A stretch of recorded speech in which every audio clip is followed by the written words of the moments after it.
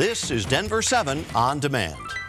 Hi, I'm Jacqueline Allen with the latest from Denver 7. A local kid got the call of a lifetime on Saturday. Sam Jones grew up in a Highlands ranch and he's a huge Broncos fan. Now he's part of the team. The lineman from Arizona State got drafted in the sixth round on Saturday at the 183rd overall pick.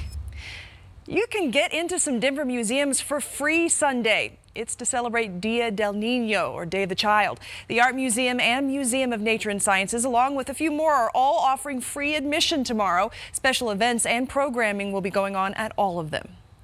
An unexpected visitor to a Littleton neighborhood Saturday morning. This hot air balloon had to make an emergency landing in the middle of some homes just east of Chatfield High. The balloon was getting low on fuel, and with the winds, the pilot looked for a safe place to put it down. And from the First Alert Weather Center, here's a look at your forecast. More warm weather ahead for the second half of your weekend.